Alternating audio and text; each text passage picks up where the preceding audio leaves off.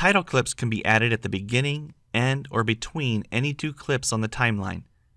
Title clips are helpful to introduce your video, a new topic or section within your video, or even to use as an end slide to conclude your video. To add a title clip, click on the Title Clips tab. If you don't see the Title Clips tab, then look for it under the More menu. A title clip will be added on the video track at or near the location of the playhead.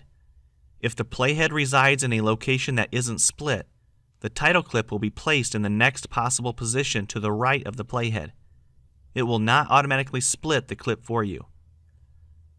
Since I want a title clip at the beginning of my video, I'll click and drag the playhead to the start of the timeline. Now click the Add Title Clip button and a new clip is added to the beginning of the timeline. Notice that all media is moved to the right on the timeline to keep everything in sync, as long as none of the tracks are locked. To add text to the title clip, just enter it here like any basic text editor. Highlight the text and modify the look and feel using these formatting toolbars.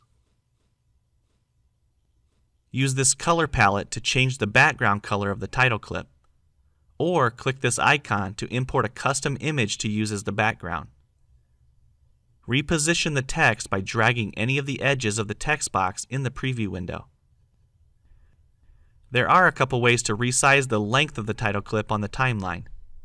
One way is to click and drag the right edge of the clip to resize it. If you want to be sure that it's an exact duration, like say 3 seconds, right click the clip and choose Title Duration from the menu. Enter the number of seconds and click OK.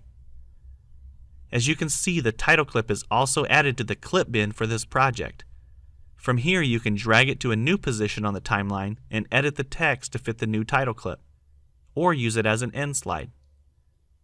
To edit a title clip, double click it on the timeline and it will reopen in the Title Clips tab. Any changes made here will automatically be updated to the selected clip on the timeline. Check out the next video in this Getting Started series to learn how to add a transition.